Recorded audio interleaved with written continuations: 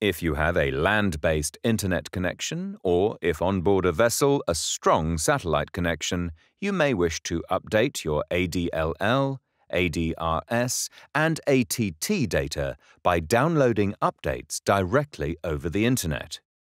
To do this, open the ADP Data Updating Wizard through the Start menu or desktop of your computer.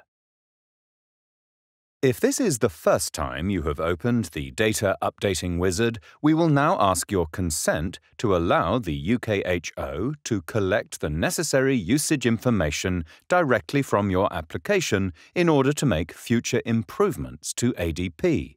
This information is anonymous and individual users will not be identified read the message in the window that has appeared and choose the relevant option, confirming that you agree or you do not agree for the information to be collected. The Data Updating Wizard Welcome screen is now displayed.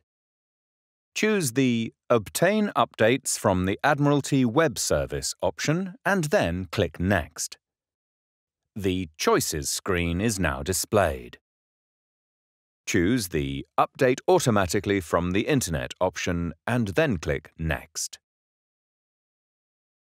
You will now be presented with a list of all ADLL, ADRS and ATT areas held on your ADP license. Select one or more areas to update.